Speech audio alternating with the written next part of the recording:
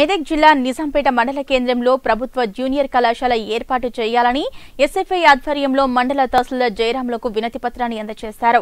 ఈ సందర్భంగా ఎస్ఎఫ్ఐ మండల అధ్యక్షులు ప్రవీణ్ మాట్లాడుతూ నూతన మండలం ఏర్పడి ఐదు సంవత్సరాలు గడుస్తున్న మండలంలో ప్రభుత్వ జూనియర్ కళాశాల లేక చాలా మంది విద్యార్థులు ఇబ్బందులు పడుతున్నారన్నారు.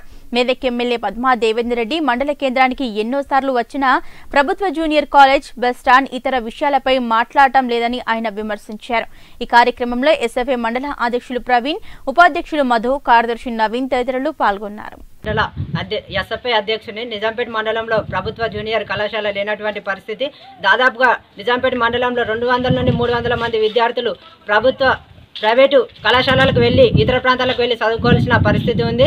కావున అక్కడ ఫీజులు చెల్లించలేక విద్య విద్యార్థులు ఇంటికే పరిమితమై చదువుకు దూరంగా ఉండాల్సి ఉండాల్సిన నిజాంపేట మండలంలో ఉన్నటువంటి పరిస్థితి నెలకొంది. కావున దీనిని ప్రభుత్వం స్పందించి ప్రభుత్వ జూనియర్ కళాశాల ఏర్పాటు చేయాలని ఎస్ఎఫ్ఐ కోరుతుంది.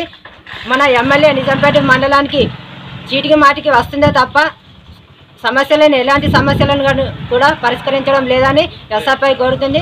అంగట్లో అన్నీ ఉన్నా అల్లుడు నోట్ల శని ఉన్నట్టు నిజాంపేట మండలంలో స్థలాలు ఉన్నా కానీ మన ఎమ్మెల్యే ఎలాంటి స్పందించడం లేదు ప్రైవేట్ కళాశాలపై అని ఎస్ఎఫ్ఐ కోరుతుంది.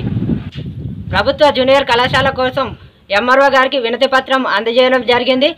ఒకవేళ ప్రభుత్వం దీనికి స్పందించలేక ఎలాంటి ప్రభుత్వ కళాశాల ఏర్పాటు చేయకపోతే రాబోయే రోజుల్లో దీనికి మండల ఏర్పాటు చేయాలని కోరుతున్నాము. లే- లేని పక్షాన రాబోయే రోజుల్లో ఎస్ఎఫ్ఐ నుండి పెద్ద ఎత్తున పోరాటం చేయాలి చేయవలసి జరుగుతుంది. కావున దీనిని స్పందించి ప్రభుత్వ జూనియర్ కళాశాల ఏర్పాటు చేయాలని కోరుతున్నాం. జై ఎస్ఎఫ్ఐ! జై జై ఎస్ఎఫ్ఐ! జై ఎస్ఎఫ్ఐ! జై జై ఎస్ఎఫ్ఐ!